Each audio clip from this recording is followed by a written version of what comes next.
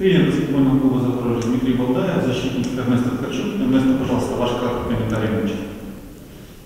Хотел бы сказать, что в первой половине очень плохо защищались, дали очень много забить. Даже, наверное, не в первой половине, а на протяжении всей игры очень много легких очков, из-за чего был такой большой разрыв. Ну, во второй половине стали зоной, более-менее начали хотя бы общаться между собой в защите и как-то смогли хоть приблизиться к Днепру. В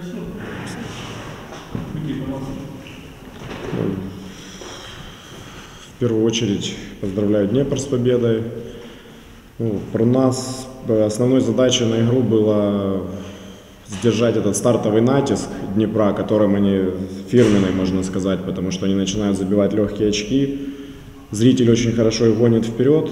У нас, к сожалению, это не получилось. Даже в те моменты, когда мы отзащищались, они, мы не поставили спину, они подобрали, забили за первую половину, по-моему, 18 очков второго шанса.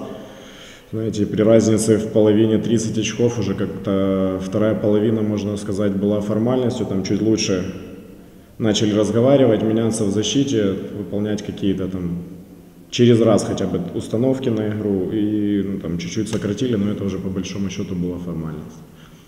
Наверное, это все было потому, что очень важная игра для нас была, как бы эмоционально, может быть, все хотели, но как-то не всегда это приводит к хорошему результату.